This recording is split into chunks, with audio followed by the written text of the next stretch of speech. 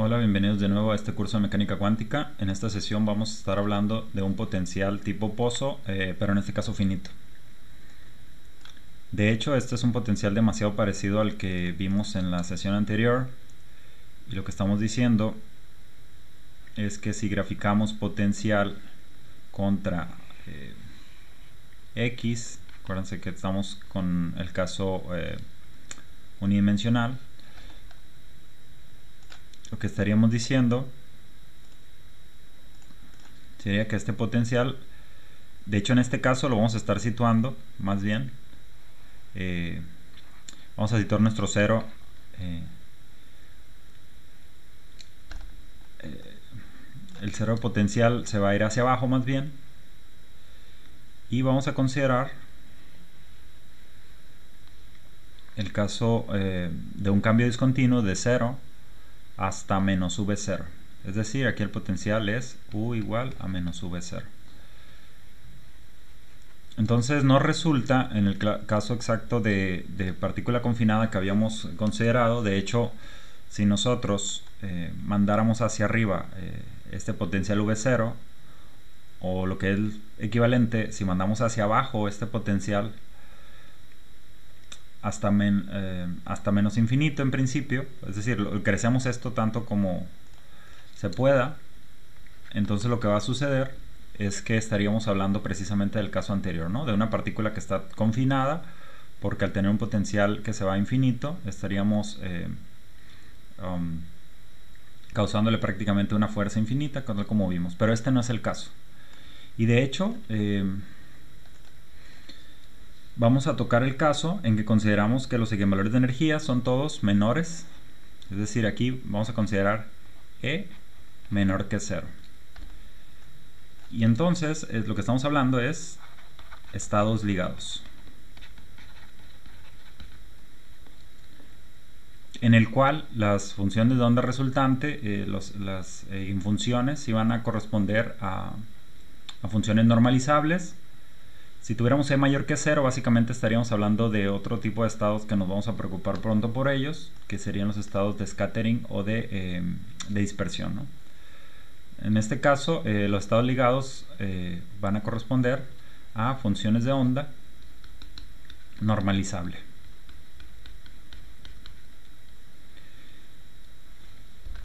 Y de hecho, si analizamos un poco las cosas, lo que va a suceder, si miramos si ustedes recuerdan, como la energía total de una partícula corresponde a, la suma de la energía potencial más la, más la energía cinética, entonces podríamos decir que esto es justamente la energía cinética. Que sería eh, lo correspondiente a poner E. Eh, tendríamos, decía que esto sería E es igual a la parte de energía cinética más energía potencial, que es menos V0, y entonces correspondería energía cinética a E más V0, donde esta cantidad es negativa, es decir, lo restante, V0 va a ser mayor, a fin de cuentas, porque es la distancia desde aquí hasta acá, entonces eh, esta cantidad es positiva, mientras que lo que sucede en esta parte de la izquierda, si se fijan, con esta energía, lo que sucedería es que este cambio sería una cantidad negativa. Es decir, no existiría energía eh, eh, cinética. Entonces lo que concluimos a partir de eso, si se fijan aquí tenemos E eh, menos el potencial que es un cero, pero la energía es negativa. Es decir, en este caso K es igual a E, pero es negativa, por lo tanto lo que está diciendo es que clásicamente no podemos encontrar a la partícula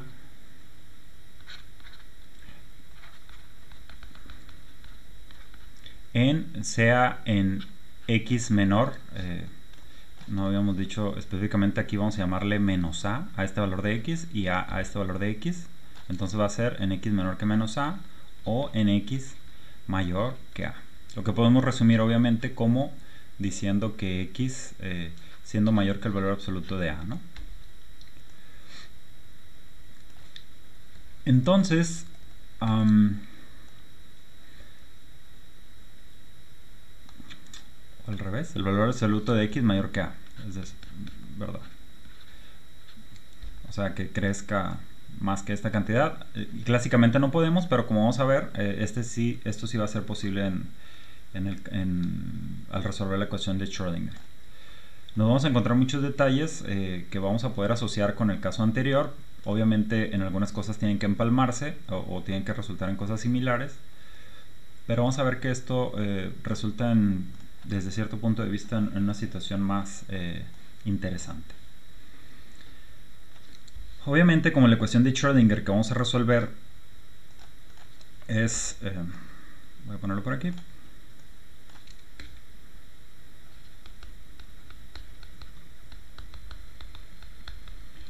Toma la forma menos h barra cuadrada entre 2m por la segunda derivada de estos estados estacionarios más lo que es el potencial por phi igual a e phi.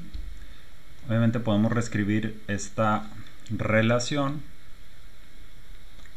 como eh, la segunda derivada de phi con respecto a x es igual a menos 2m sobre h barra cuadrada y aquí hay que poner e menos v multiplicado por phi, ¿verdad? Específicamente, eh, el caso más simple de resolver sería um, obviamente el, caso en que v es igual a 0. Es decir, en, x, eh, en el valor absoluto de x mayor que a, en estas dos regiones, lo que vamos a tener es que el potencial es igual a 0. Entonces, vamos a especificarlo aquí. Para esto mayor que a, lo que tenemos es que resolvemos simplemente esta ecuación es igual y aquí como es negativo vamos a fijarnos que a fin de cuentas podemos especificar esto como menos 2m entre h barra cuadrada multiplicado por el valor absoluto de E, es decir, nada más la distancia a la que se encuentra hacia abajo esa energía, y ya está. Es decir, esta ecuación y esta ecuación, como sabemos, tienen una forma muy simple de solución, que es phi es igual a cierta constante, lo voy a llamar A, por E a la... A la en realidad la, la, forma de solucionar esto sería por E a la menos lambda X más B por E a la lambda X. Son las dos soluciones correspondientes a una ecuación diferencial de segundo orden. Sin embargo, en, donde hemos especificado que lambda es o que lambda cuadrada más bien es igual a 2m sobre h barra cuadrada. Derivas dos veces, eh, se va el negativo o se, queda positivo y se cancela con este negativo. Multiplicado por el valor absoluto de E, ¿verdad? Entonces, en este caso, em, si nos fijamos, por ejemplo, en la parte derecha, lo que correspondería eh, dejar esto como posibilidad a algo que crece de manera, de manera indefinida, la posibilidad de encontrar la partícula, pero como sabemos que es un estado ligado, esto va a corresponder a una función de normalizable y por lo tanto al integrar queremos que la función de onda se vaya eh, a cero, ¿verdad? Para que sea de cuadrado integrable. Entonces en realidad este b tiene que ser igual a cero necesariamente por esa condición en infinito y nos quedamos solamente con esta parte de la solución. Eso es sencillo. Para el caso, em, ahora podemos considerar para... Eh, y esto es válido también para la izquierda, obviamente, ¿no? Porque tenemos eh, en la parte izquierda lo que va a corresponder es que para... Ah, correcto, esto es para la parte derecha, ¿no? Esto sería para x mayor que a. Y para x menor que a, eh, la función de onda correspondiente también sería sería lo mismo casi, nada más que ahora nos quedaríamos con que esto sería igual a, a 0. Voy a quedar con que eh, sería el mismo tipo de función. En realidad, eh, muy probablemente sea la misma constante. Sería e a la lambda x. Vamos a ver por qué es el caso, ¿no? Entonces lo que tenemos es que eh, ahora nos podemos, situar la atención en la parte eh, interna del potencial. Es decir, solo nos falta resolver para esta parte de adentro. Entonces esto sería para x entre menos a y a. Lo que vamos a tener, la ecuación es justamente la que decíamos acá arriba. Pero tenemos que en realidad es el negativo del valor absoluto de e, porque sabemos que es negativo mientras que v es igual a, menos v0. Es decir, va a quedar eh, v0 menos el valor absoluto de. Y lo voy a dejar así tal cual. Entonces va a quedar como esa ecuación que decíamos ahí. 2m sobre h barra cuadrada, pero ahora queda v0 menos el valor absoluto de. Eso es lo que dijimos ahí. Obviamente, si pasa, eh, esto es una constante, esto es multiplicado por phi, esto es una ecuación de tipo oscilador armónico, lo pasamos a la izquierda y, vemos que eso en realidad es positivo, de tal forma que vamos a tener soluciones tipo coseno y seno. Entonces voy a especificar con solución par phi de x igual a cierta constante sin embargo, por el momento no voy a fijarme en esa constante, lo voy a dejar como un 1. Sí podemos rescalarlo para, pensar en la cuestión de normalización, pero no vamos a normalizar la función de onda para no estar cargando con esa, em, con esa constante extra que está surgiendo. Es decir, vamos a tener que tener una cuestión de empate por continuidad de la función de onda entre este valor y la constante que tuviéramos acá. Entonces está agregando eh, una constante de más. Eh, que solo es útil para cuestiones de normalización. Por el momento no nos fijamos en eso, entonces tiene solución kx, en donde eh, k cuadrada está definido simplemente como 2m por v0 menos este valor absoluto, que sabemos que este es mayor que este, sobre h barra cuadrada, lo que garantiza que esto sea eh, una cantidad positiva, ¿verdad?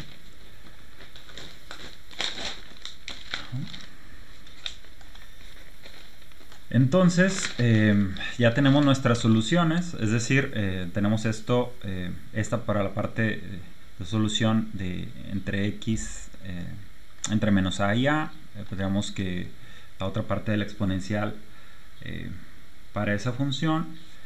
Y lo que vemos, al menos de aquí, ya podemos ver directamente de estas dos definiciones que implican algo.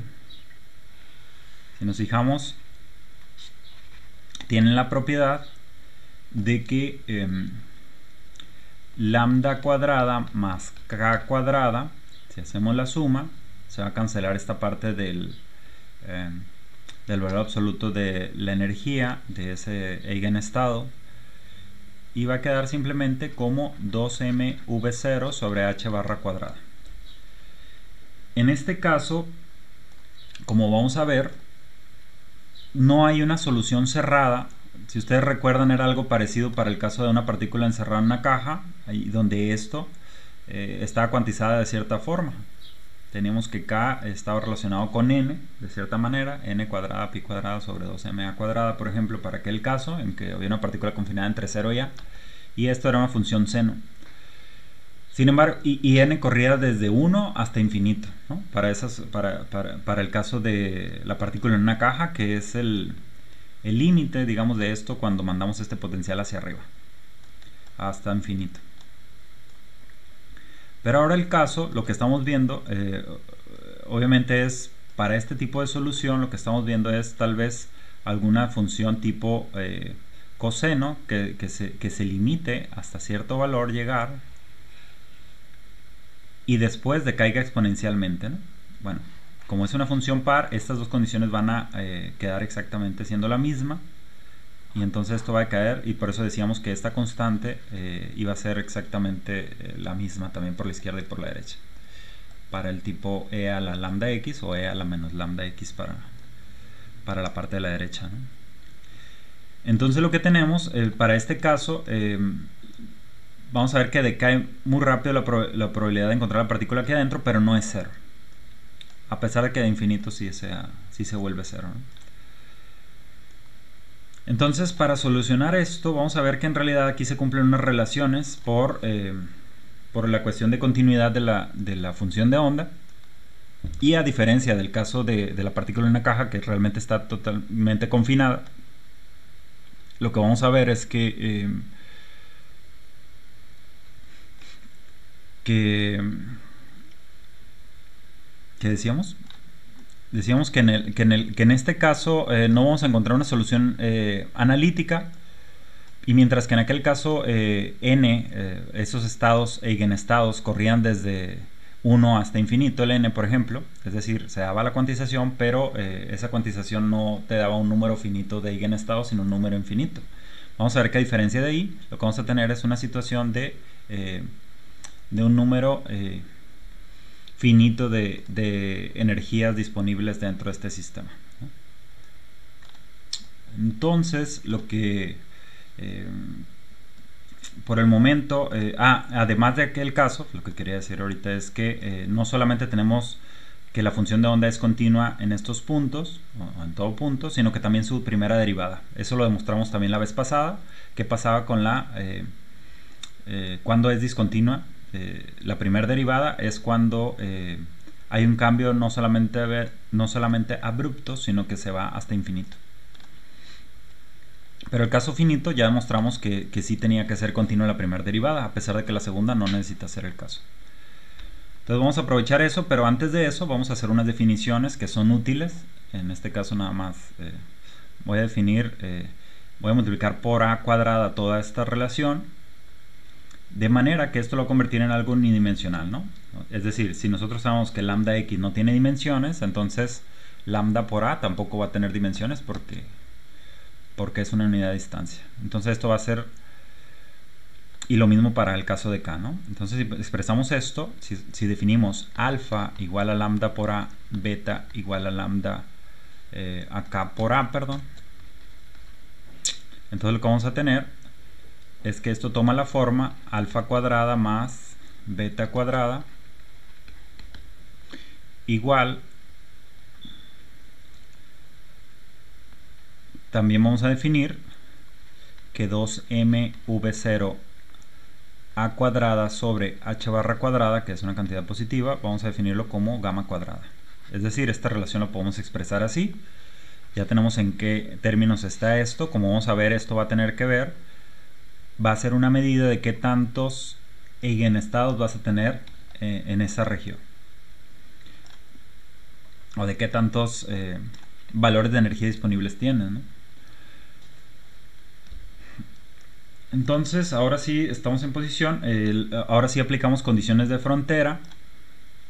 Ya sabemos para este caso de funciones pares. Eh, vamos a ver que vamos a ver que también hay, soluciones impares, pero para este caso de, funciones pares lo que tenemos es que eh, por continuidad, tanto en la derivada como en la misma función de onda, tenemos que phi cuando evalúas en x igual a a, por ejemplo, dijimos que en a vamos a tener que es el coseno de, de k por a, y esto debe ser igual a a veces, que esto tiene que ver con ese empalme precisamente, por E a la menos lambda. ¿Están de acuerdo en eso? Porque simplemente estamos eh, eh, evaluando este valor para la parte derecha de A en A justamente y este valor para la parte eh, derecha en A. Y para la izquierda no necesitamos hacerlo, en X igual a menos A básicamente nos dará relaciones similares, así es que ahí no es útil, pero aquí tenemos una condición que no existía en el caso de la sesión anterior, que es que la primera derivada, que la en x igual a a, como sabemos la primera derivada de esto con respecto a x, cuando esto es x, eh, corresponde a menos seno, ¿verdad? Entonces esto va a quedar como menos k por el seno de k por a. Mientras que aquí en la primera derivada también sale un menos lambda por A por E a la menos lambda. Es decir, y, esto implica, si, dividimos una por otra, dividiendo, podríamos decir entonces que, em, aquí como es útil, seno entre coseno, y esto entre esto nos otorga lambda en la parte de arriba, ¿verdad? Entonces lo que tendríamos sería que em, lambda es igual a k por la tangente de k. De nuevo, para utilizar esas eh, constantes eh, adimensionales que dijimos eh, que son útiles, si multiplicamos por a, lo que queda es lambda a igual a k por la tangente de k, o lo que es lo mismo que em, dijimos que esto era alfa, lambda por a, es igual a beta por la tangente de beta. Sujeto también a que alfa cuadrada más beta cuadrada es igual a gamma cuadrada. Y aquí ya podemos eh, ver algo importante que en términos de estas dos constantes, esta, si nosotros digamos que la manera más fácil de intentar solucionar este sistema de dos ecuaciones, porque en realidad si se fijan, este gamma cuadrada va a ser más, estos valores son conocidos, V0 y A, son los que plantea el problema. Es decir, esto es una constante que sí conocemos. Entonces son dos incógnitas, alfa y beta, para dos ecuaciones.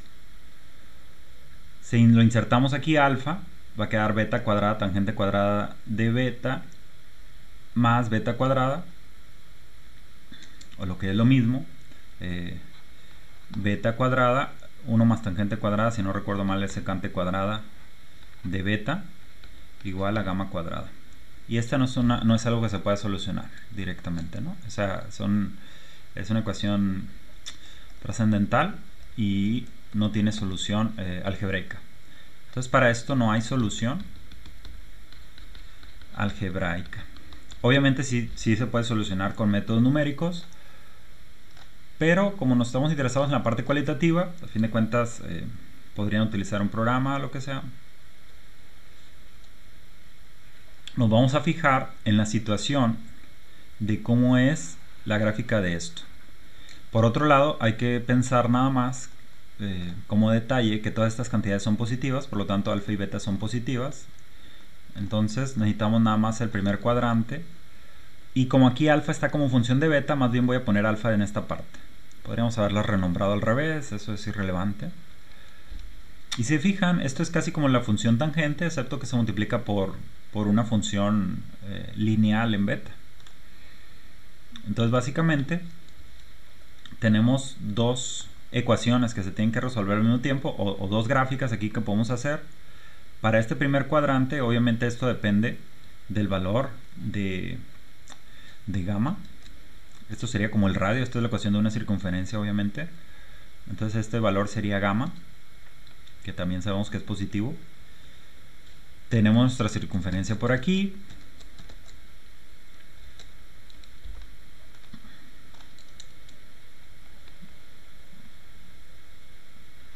Vemos que ahí tenemos nuestra primera gráfica, la parte que nos interesa, en ese cuadrante. Y llegamos hasta gamma mismo, ¿verdad? Todo, todo aquí es el radio de esto es gamma.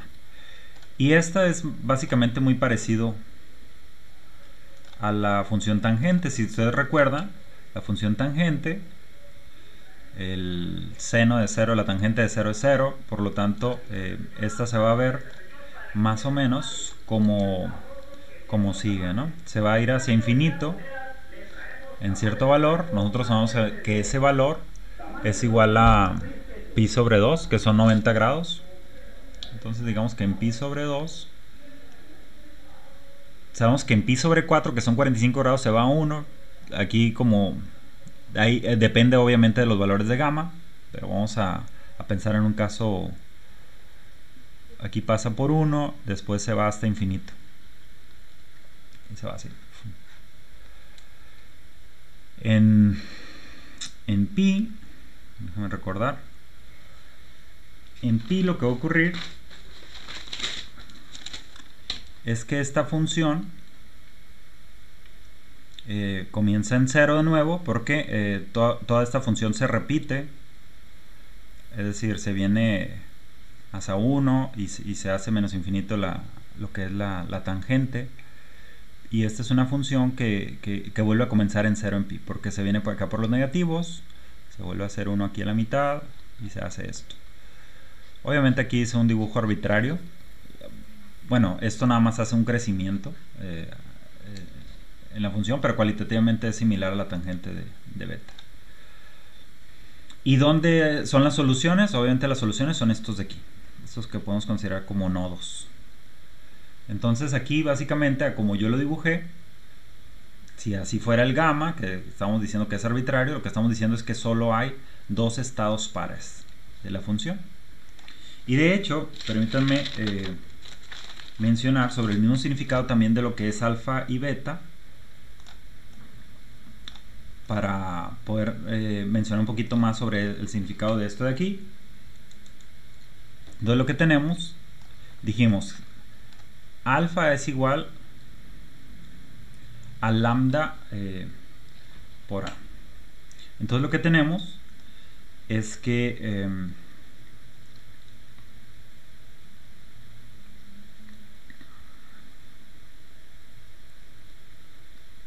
es que si recordamos, bueno, para interpretarlo tendríamos que poner alfa cuadrada es igual a lambda cuadrada a cuadrada. ¿Por qué hacemos el cuadrado? Porque habíamos definido antes que lambda cuadrada es 2m por el valor absoluto de e sobre h barra cuadrada multiplicado por a cuadrada. Entonces, esto es eh, la igualdad que sucede. Y de acuerdo a esto, a la definición del mismo gamma cuadrada, tenemos casi lo mismo. Tenemos 2ma cuadrada sobre h barra cuadrada. Entonces solamente nos falta completar ahí arriba, con, arriba y abajo con v0.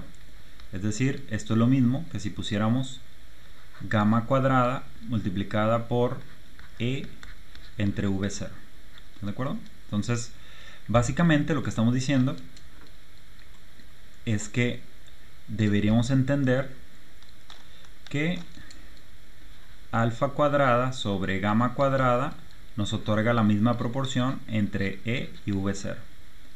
Que esa proporción es de qué tan arriba está o más bien, de acuerdo a lo que dijimos desde un principio, es este valor de E, valor absoluto es qué tanta distancia hay aquí entre esta distancia.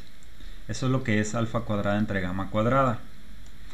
Por otro lado, para beta podríamos hacer algo similar. Tendríamos que beta cuadrada sería igual a k cuadrada por a cuadrada, solo que en este caso lo que tenemos es que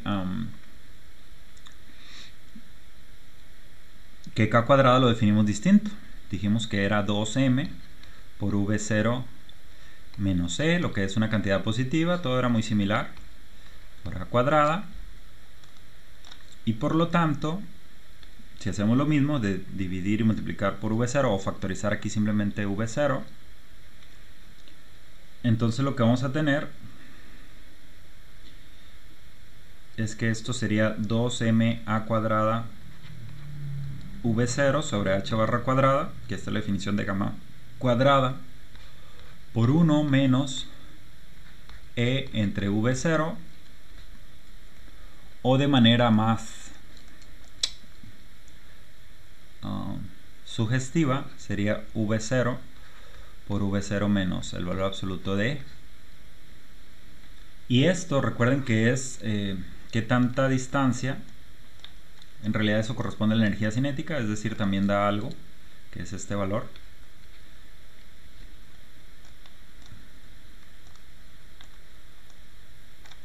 Y entonces lo que tenemos es que esto sería, a esto podríamos llamarle un E primado, por ejemplo,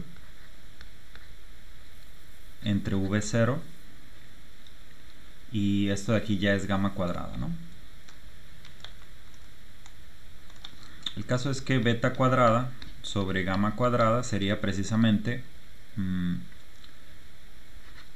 v0 menos este valor absoluto sobre v0. Da algo un poco parecido también. Entonces, ¿qué estamos, eh, ¿con qué estamos aquí? Que si tuviéramos distintos valores de gamma, y seguimos nosotros graficando lo que es esta función eh, alfa en términos de beta, Obviamente voy a volver a empezar acá. nos brincamos uno, ponemos este y este se vuelve a hacer así, algo similar, etcétera. Mientras más grande sea gamma, la circunferencia a encerrar, distintos valores de gamma, van a poder encerrar más valores de energía cuantizada. Y mientras más pequeño, también, ¿no? Podemos, de hecho, llegar al caso en el que solo exista uno. Sin embargo, por más pequeño que lo hagamos, al menos solamente va a cortar una vez a esta curva. Es decir, una cosa eh, importante aquí es que existe al menos una solución para para cualquier energía, para cualquier combinación que para V0 y A dados, que son los que generan, obviamente, el, gamma, ¿no? Por cómo está definido, en términos de gamma cuadrada, en términos de V0 por A. Entonces, a mayor profundidad del pozo, lo que estamos viendo es que va a haber más estados de energía. Es decir, y no solo eso, ¿no? Que este estado, eh, a mayor profundidad que tenga, lo que estamos viendo es que el primero que corta se va yendo más arriba cada vez. Y ya sabemos que esto lo que va a decir, como el valor de alfa ahora va a ser más grande, es el que le llamamos el estado más profundo. O sea, gamma automáticamente va a dar cuál es ese estado más profundo que es eh, el correspondiente a ese primer choque. ¿Sí se mira? Entonces este a mayor gamma, como este va a aparecer por aquí, obviamente gamma cuadrada también, eh, eh, eso querría decir, podemos ensancharlo o podemos eh, hacerlo más angosto, ¿no? Sin embargo, lo que estamos viendo es que este es un estado que está más abajo en la energía. Entonces lo que quiere decir Eh, bueno, ese primer estado, decíamos, va a corresponder a algo por aquí, ¿no? Entonces lo podríamos llamar I1. Sin embargo, decíamos que no hay una, forma algebraica. Eh, la otra situación que nos interesaría, tal vez, es qué sucede para el caso de las soluciones pares. Ya, digamos que ya con esto solucionamos las soluciones, Ah, los eigenestados eh, impares, tendríamos que hacer justamente lo mismo.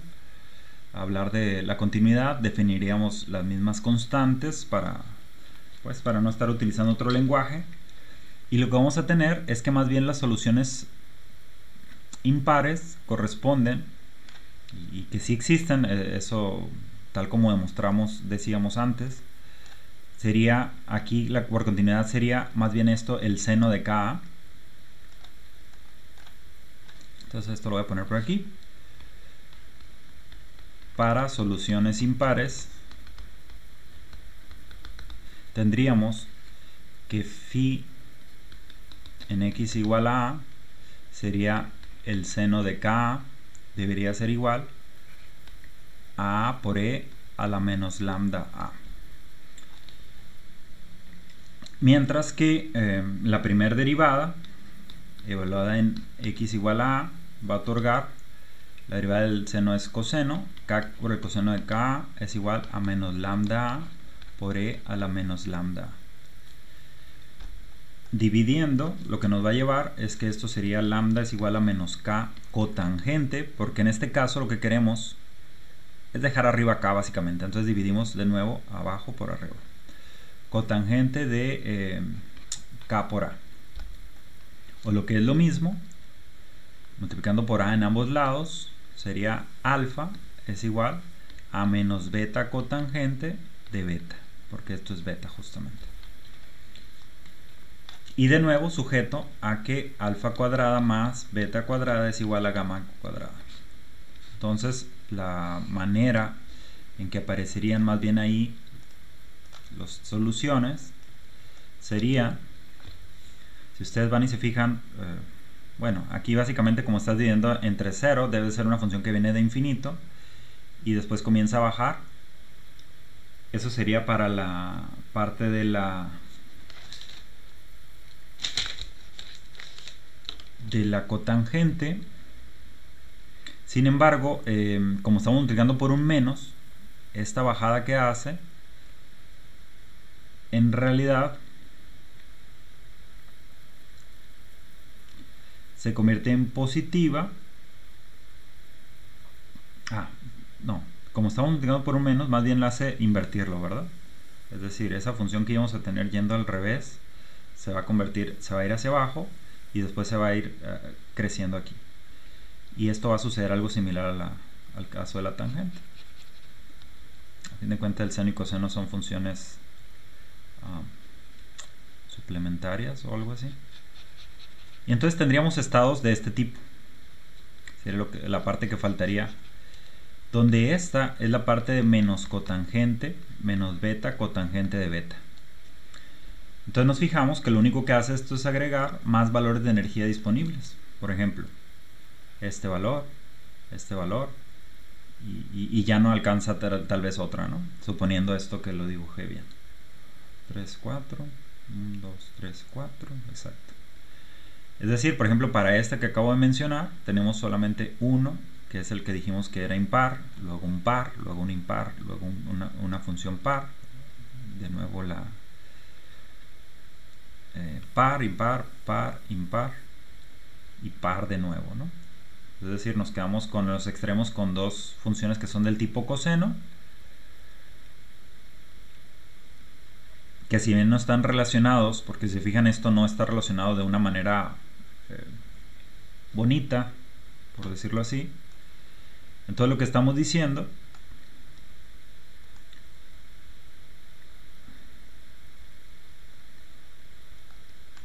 es que tenemos todos nuestros estados cuantizados, por ejemplo, para algo como eso, pero que no, eh, que no tiene una distancia, pues, que podamos relacionar de manera precisa, porque no dio soluciones algebraicas, y ya tenemos cierto número de estos.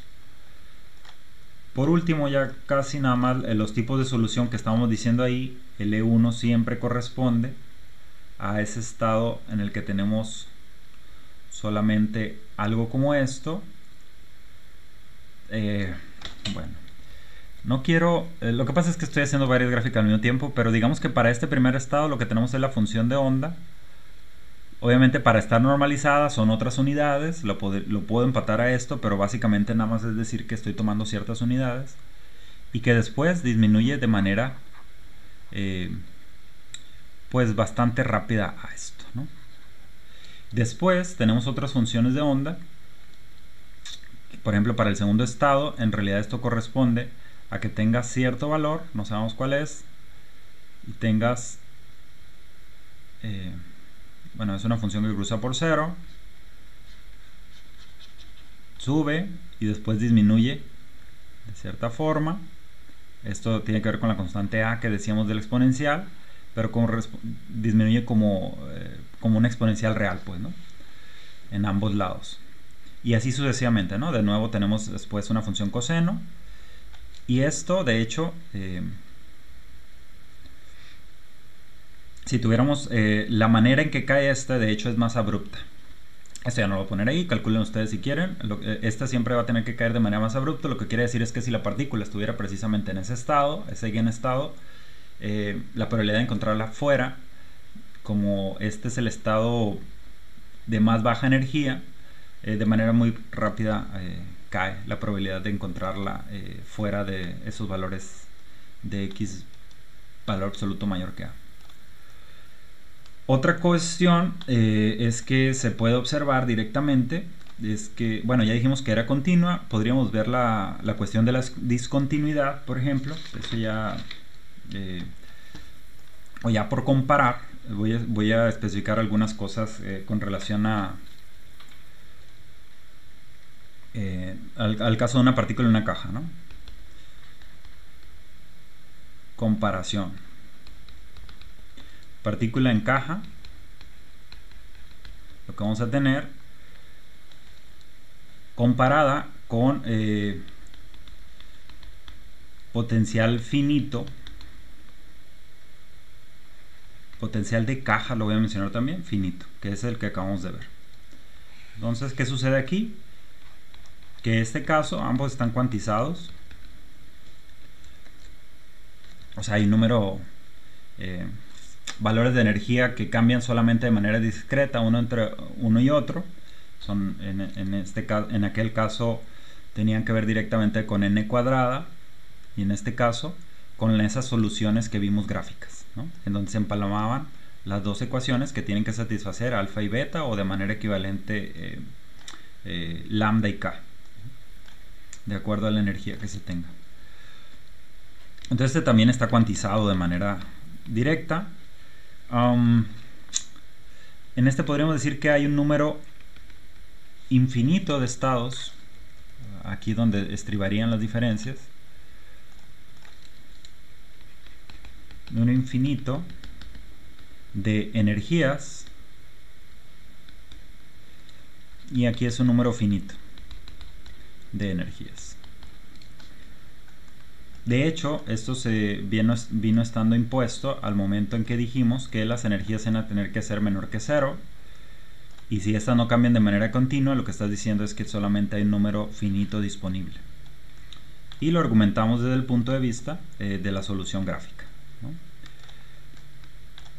Por otro lado, otra comparación que podemos decir eh, es que pasa que es phi es continua, obviamente este era el caso potencial infinito eh, por fuera y este es potencial finito en ambos lados. La phi, es continua y phi primado discontinua. En este caso, phi es continua y phi primado es continuo también.